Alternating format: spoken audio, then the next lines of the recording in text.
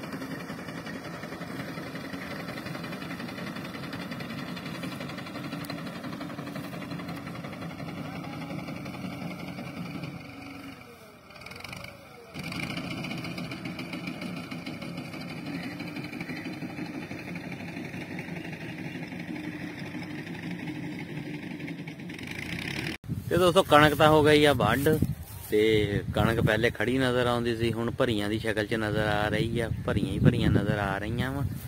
ਤੇ ਇਹਨਾਂ ਨੇ ਤੰਗ ਤਾਂ ਕਾਫੀ ਕੀਤਾ। ਪਹਿਲੇ ਇਹਨਾਂ ਨੇ ਆਉਣਾ ਸੀ ਐਤਵਾਰ ਦੀ ਸ਼ਾਮ ਨੂੰ, ਤੇ ਐਤਵਾਰ ਦੀ ਸ਼ਾਮ ਨੂੰ ਵੀ ਨਹੀਂ ਪਹੁੰ- ਪਹੁੰਚੇ। ਫਿਰ ਜੀ ਫੋਨ ਆ ਗਿਆ ਸੀ ਜੀ, ਹੁਣ ਸੋਮਵਾਰ ਨੂੰ 10:00 ਵਜੇ ਆ ਜਾਾਂਗੇ ਤੇ ਸੋਮਵਾਰ ਵੀ ਸਾਰਾ ਦਿਨ ਚਲਾ ਗਿਆ, ਨਹੀਂ ਆਏ। ਹੁਣ ਅੱਜ ਮੰਗਲ ਦਾ ਦਿਨ ਸੀ, ਮੰਗਲ ਨੂੰ ਪਹੁੰਚੇ। ਤੇ ਚਲੋ ਅੱਜ ਇਹ ਆ ਪਾਣੀ ਦੀ ਵਾਰੀ ਆ। ਨਾਲੇ ਇੱਕ ਕਿਆਰੇ ਦੀ ਜਿਹੜੀ ਆ, ਦੋ ਕਨਾਲਾਂ ਦੀ ਰੌਣੀ ਹੋ ਜੂਗੀ, ਪੱਠੇ ਵੀ ਜਾਨਵਰਾਂ ਲਈ ਬੀਜਣੇ ਆ। ਤੇ ਹੁਣ ਇਹਦੀਆਂ ਭਰੀਆਂ ਚੱਕ ਕੇ ਦੂਸਰੇ ਕਿਆਰੇ 'ਚ ਇੱਕ 'ਚ ਹੋ ਜਾਣਗੀਆਂ। ਤੇ ਇੱਕ ਕਿਆਰਾ ਜਿਹੜਾ ਉਹਨੂੰ ਪਾਣੀ ਲੱਗ ਜਾਏਗਾ। ਤੇ ਹੁਣ ਥ੍ਰੈਸ਼ਰ ਵਾਲੇ ਦਾ ਪਤਾ ਪੁਤਾ ਕਰਦੇ ਆ, ਦੇਖਦੇ ਆ। ਥ੍ਰੈਸ਼ਰ ਵਾਲੇ ਵੀ ਕਹਿੰਦੇ ਆ ਜੀ, ਹਲੇ ਕਣਕ 'ਚ ਸਲਾਬ ਆ। ਇਸ ਕਰਕੇ ਉਹ ਵੀ ਨਹੀਂ ਆਂਦੇ ਕਹਿੰਦੇ ਮਜ਼ੀਦ ਹਲੇ ਧੁੱਪਾਂ ਲੱਗਣਗੀਆਂ ਤਾਂ ਫਿਰ ਜੀ ਕੱਢਣੀ ਆ ਹੁਣ ਕਿਸੇ ਦੇ ਮਗਰ ਫਿਰਦੇ ਆ, ਦੇਖਦੇ ਆ ਕੀ ਕਰਦੇ ਆ। ਤੇ ਬਾਕੀ ਜਿਹੜਾ ਇਹਦਾ ਝਾੜ ਵਾ, ਉਹਦਾ ਫਿਰ ਜਦੋਂ ਥ੍ਰੈਸ਼ਰ ਨਿਕਲੇਗੀ ਤਾਂ ਪਤਾ ਲੱਗੇਗਾ। ਤੇ ਹਵਾ ਵੀ ਤੇਜ਼ ਚੱਲ ਰਹੀ ਆ, ਬੱਦਲ ਵੀ ਘੁੰਮਦੇ ਫਿਰਦੇ ਆ। ਤੇ ਅੱਲਾਹ ਤਾਲਾ ਆਪਣਾ ਕਰਮ ਕਰੇ। ਤੇ ਅਸੀਂ ਉਮੀਦ ਕਰਦੇ ਹਾਂ ਸਾਡੀ ਵੀਡੀਓ ਤੁਹਾਨੂੰ ਅੱਛੀ ਲੱਗੀ ਹੋਵੇਗੀ ਸਾਡੀ ਵੀਡੀਓ ਨੂੰ ਲਾਈਕ ਤੇ ਆਪਣੇ ਦੋਸਤਾਂ 'ਚ ਸ਼ੇਅਰ ਵੀ ਜ਼ਰੂਰ ਕਰਿਓ। ਕਮੈਂਟ ਕਰਕੇ ਵੀ ਜ਼ਰੂਰ ਦੱਸਣਾ ਸਾਡੀ ਵੀਡੀਓ ਕਿਹੋ ਜਿਹੀ ਲੱਗੀ ਆ। ਹੁਣ ਤੁਹਾਨੂੰ ਅਸੀਂ ਮਿਲਾਂਗੇ ਨੈਕਸਟ ਵੀਡੀਓ 'ਚ। ਖੁਦਾ ਹਾਫਿਜ਼।